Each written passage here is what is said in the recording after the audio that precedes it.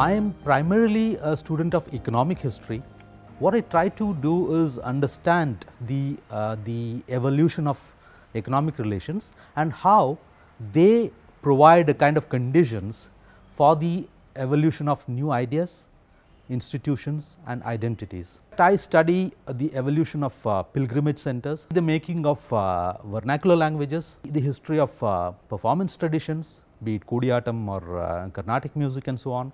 Um, I study intellectual traditions, some of the esoteric or metaphysical traditions such as Vedanta as, far, as well as the more uh, science oriented traditions such as uh, astronomy or mathematics. So, you can actually see that I have a rather extensive field for myself.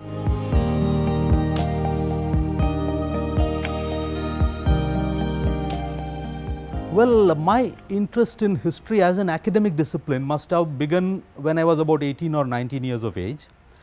Uh, but even before that, I was fascinated by the idea of time. I realized that there are three academic disciplines which engage with uh, the question of time physics, philosophy and history. Now, physics has uh, an approach to time at two levels. At one level, it is a measure and at the second level which is closely connected to the first one, uh, time is an aspect of space and space is an aspect of time. The other discipline is philosophy and for some reason philosophers often reflect upon time without enabling them to engage with time itself. And there are many systems of philosophy within philosophy where time does not occur at all. That leaves me with history where uh, time is much more lively, uh, much more uncertain and much more uneven in a manner of speaking. Uh, history also enables the historians to orchestrate time in, in their uh, own ways. So, that interests me uh, uh to a great extent.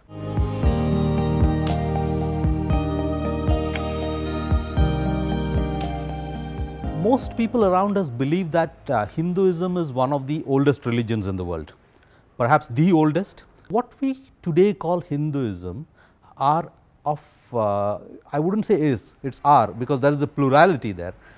They come from diverse sources and diverse origins and diverse encounters across a period of time.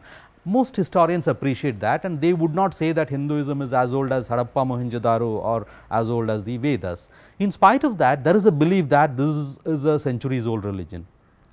So, that is what I call the primordialist position. The idea that Hinduism as a religion was constructed in the course of very recent historical developments, maybe the 19th century, even the early part of the 20th century, there you find uh, the, the, the idea of Hinduism gaining mass ground. You know, most of the pilgrimage centers become redefined as centers of uh, Hindu pilgrimage centers.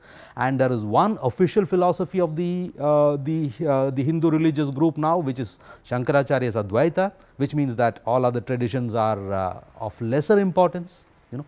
So, this is the manner in which Hinduism has been produced in the course of the 19th and 20th century. So, that would be the, the constructionist position.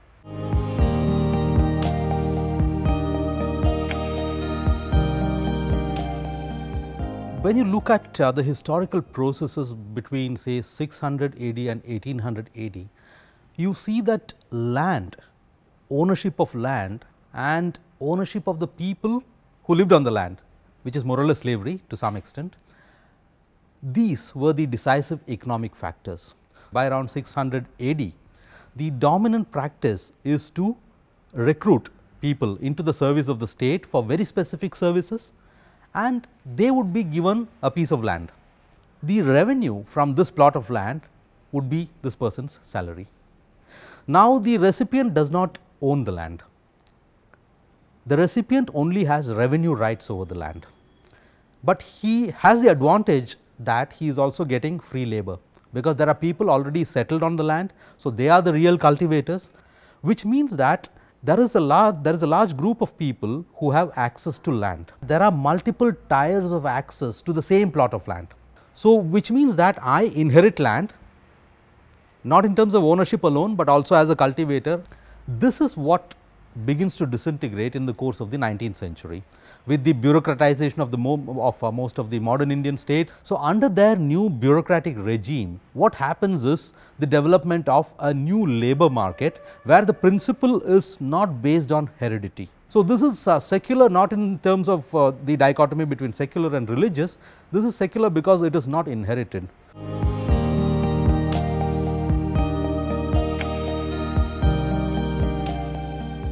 Eric Hobsbawm and uh, Terence Ranger, they edited a book as early as 1983 and the book was uh, interestingly called The Invention of Tradition. So, one of the it contains 5 or 6 essays and uh, the argument which the book was trying to put forth was that much of the things which we regard as tradition, which we regard as 500 or 1000 or 2000 years old is of very recent origin. There it was tradition that is invented, here he says that much of history is invented and I would completely agree with him. But this invented history has a great currency within India today and it's, it has a history of its own. I think there is no way that we can wish it away, but at the same, uh, same time uh, we historians, the more responsible among us historians should also resist it in serious ways.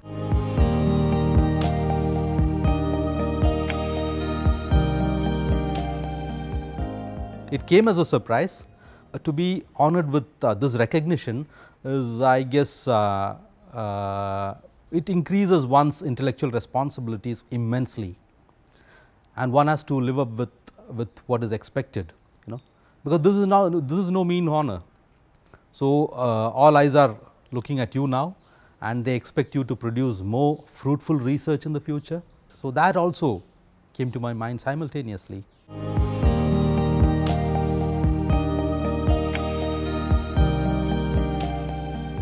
My message would be that researchers should not listen to messages, because most of the messages that uh, experienced researchers uh, would have comes from very specific settings. Uh, their own experiences as researchers, their travels, their readings and uh, their engagement with a wide range of material and as well as with a wide range of people would have led to the development of a specific message. So, that I think may not be applicable to everybody.